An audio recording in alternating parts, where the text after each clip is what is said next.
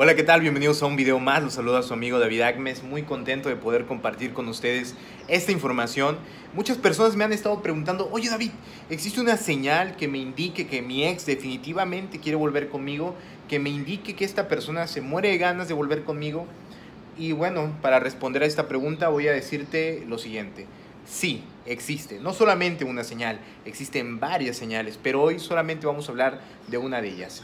Imagina lo siguiente, vas caminando por la calle y de pronto al otro lado de la acera viene caminando tu ex en sentido contrario. De pronto al verte él o ella se cruza la acera y te saluda, te saluda, te dice hola, ¿cómo estás? Me da mucho gusto verte, ¿cómo te encuentras? Y empieza una conversación amena, sencilla, muy tranquila y bueno. Ese es un indicador de que tu ex tiene intenciones genuinas de volver contigo. Es una buena señal, nos, está dando un buen indicador, ¿vale? Ahora, ¿Qué es lo que tenemos que hacer en este caso?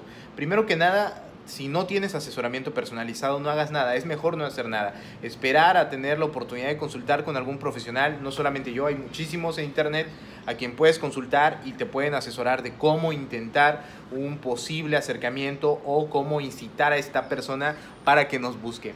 Pero eh, es muy importante que lo entiendas. Cuando esta persona ya actúa de esta manera, es un fuerte indicador de que tiene intenciones genuinas de volver con nosotros. Ahora, lo siguiente, eso no aplica. Eso no aplica si tu ex se encuentra en estado de ebriedad o bajo la influencia de alguna sustancia eh, como algún tipo de droga, ¿no? No aplica. Si tú te le encuentras a él o a ella en una fiesta, en el boliche, en el antro, en como le digan en tu país, y se acerca a saludarte bajo el estado de ebriedad o no estando bajo el estado de ebriedad, estado de ebriedad, perdón, no aplica. Esta no es una buena señal. Eh, lo más probable es que lo que esa persona esté buscando en ese momento simplemente sea sexo pasajero, eh, sexo del momento y al día siguiente nuevamente estés en la misma situación. Recuerda, la única forma en la que se puede aplicar como una buena señal, como que a ti te aplica esa señal, es cuando esta persona te la encuentras en la, en la calle y se acerca a saludarte de manera amable y jovial. Cuando esta persona se encuentra contigo en la facultad y se acerca a conversar contigo, toma la iniciativa de acercarse a conversar contigo. También aplica cuando, por ejemplo, tu ex visita a tu mamá, supongamos que tú vives en la misma casa de tu mamá o en, no sé, con algún familiar y tu ex visita a ese familiar y se acerca a saludarte a ti y quiere conversar contigo, es una buena señal, es un buen indicador. Ahora, ¿Qué es lo que tenemos que hacer? Acude con un profesional que te pueda diseñar una estrategia. Eh, ahorita vamos a abrir las, las convocatorias para aquellas personas que deseen formar parte de mi coach personalizado. Ojalá que te puedas unir a mí, si no, con cualquier otro. Hay muchos, como te digo, en, en YouTube, en Internet, donde tú quieras, ¿no?